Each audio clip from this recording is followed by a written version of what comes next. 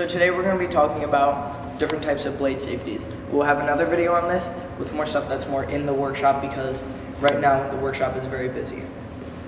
We're going to focus on three types of blades. A jigsaw blade, or like a saw blade. Scissors, which can be dangerous. And a box knife. Uh, for lack of a better example, at the moment, we'll be using a jigsaw. Most of the times you will be using jigsaw for wood when you're uh, cutting out your prototypes. So what you want to do is either use a trash can or a table and make sure it's over the edge. You never want it to be inside that trash can or table. You want to know where you're cutting. You want to make sure your blade is long enough so you're not going only part of the way through. You want to hold down on the other end.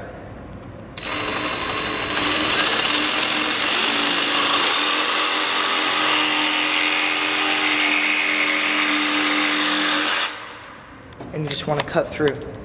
If you go too slow, what ends up happening is you get you get caught and it's even more dangerous.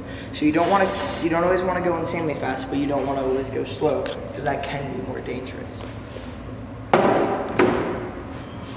Next, we'll be talking about scissors, used for a plethora of things, plastic, paper, cardboard.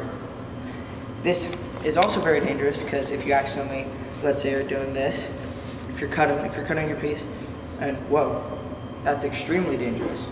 You don't want to be cutting your finger. And with all these things, you always want to make sure you have a sharp blade because a dull blade is always, always much more dangerous than a sharp blade.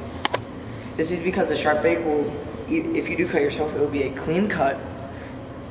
With a dull blade, it will drag and tear instead of cleanly going through. But, just an example, I'm gonna cut this piece of cardboard off.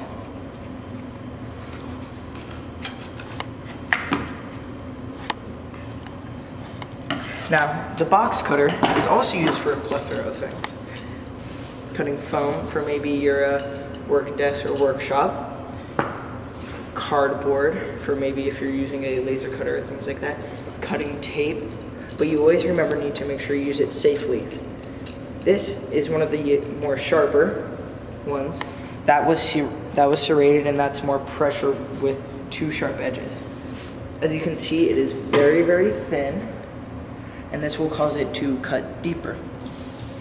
So you always want to make sure you're cutting above something. So I'm going to put the piece of cardboard down and cut my foam how I want it. You want to make sure you're stable on one of your sides and you want to make sure no fingers are towards you and you want to try and always cut away from yourself. Because if I were to cut and it were, if I were to cut, let's say if I was cutting it and it goes in, it's going right into my leg or into my body. So if you're ever cutting something in the air, you never want to really cut it like this. You want to cut it away from you. So if I'm cutting like this, into my body, or if I drop it, it may hurt someone else. As well with these, if people are close to you, you want to make sure you're within a certain amount of range. So let's say I'm going like this and I slip, and it goes back, and it cuts that. So let's just show how the knife so remember, don't cut towards yourself like this, cut away. And make sure people aren't in this area.